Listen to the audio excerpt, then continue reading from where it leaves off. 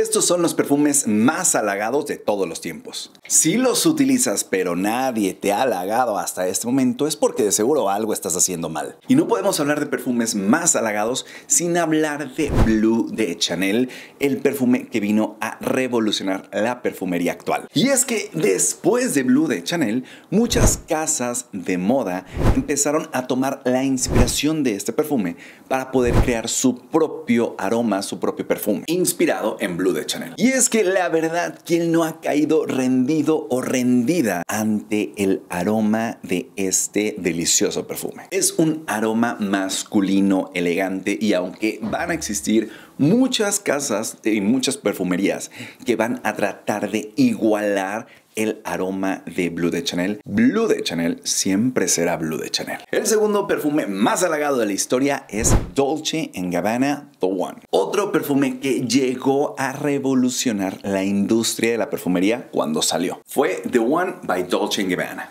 ya que sus notas llegaron a experimentar con un dulzor masculino sexy. No es un aroma dulce que llegue a empalagar demasiado, ni tampoco es un aroma amaderado muy fuerte pero tiene ese toque hipnotizante al momento en que alguien llega a olerlo en otra persona. Sin duda alguna tendrás una gran noche o una gran cita si es que en algún momento llegas a utilizarlo con esa persona especial. Tercer perfume, Aqua di Gio Profumo. El perfume marino masculino por excelencia. Llega a tener ese aroma de hombre fuerte, masculino y empoderado que hipnotiza por donde sea que pasa. Es el perfume perfecto para esas reuniones con los amigos en el bar, para poder llamar la atención de una forma discreta. Cuarto perfume es Prada.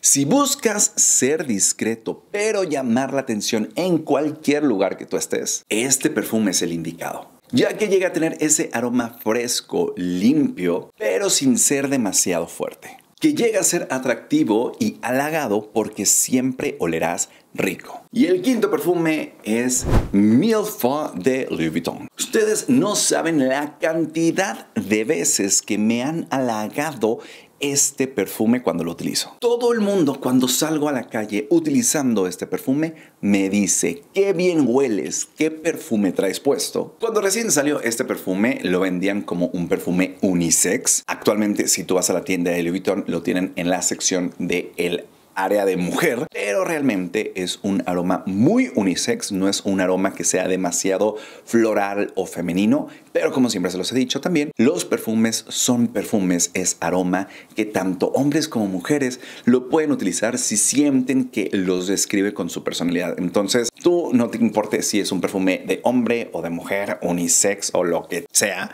si tú lo quieres utilizar porque te gusta cómo huele, que te valga si es un perfume para hombre, para mujer, para perro, para gato o para lo que sea. Así que créanme que este perfume Milford de Louis Vuitton es un perfume perfecto para hombre y para mujer.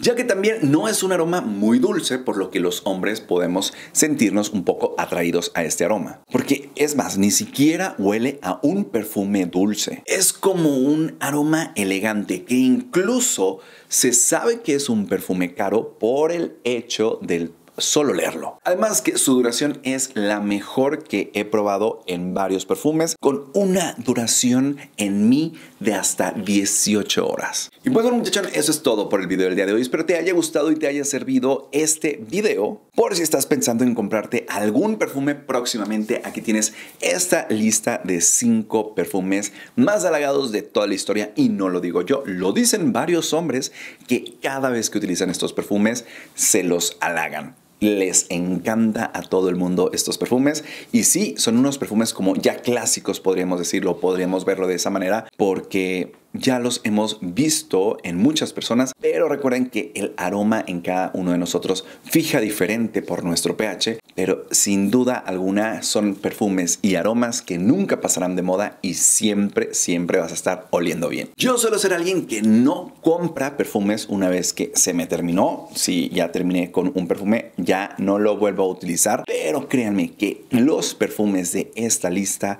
los he vuelto a comprar hasta tres veces Obviamente trato como de separar mucho el tiempo entre uno y el otro perfume. Si se me acabó ahorita el, el Louis Vuitton o si se me acabó el Blue de Chanel, por ejemplo, no los vuelvo a utilizar hasta dentro de dos años más o menos, pero sí trato de volver a comprarlos. O sea, se me acabó el Blue de Chanel, pero sigo con el de One, pero después se me acaba ese y sigo con el Aqua di Gio Profumo. Y así estoy como variando para que no se repitan los perfumes o los aromas. Porque vale muchísimo la pena repetir estos perfumes. Y ya sabes, muchachón, que tengo Instagram y TikTok, que por allá también te comparto más contenido y más recomendaciones que sin duda alguna te van a ayudar muchísimo a verte mejor, a cuidar tu cabello, a cuidar tu piel y oler más rico. Además que tengo mi marca de productos para el cabello que se llama El Muchachón.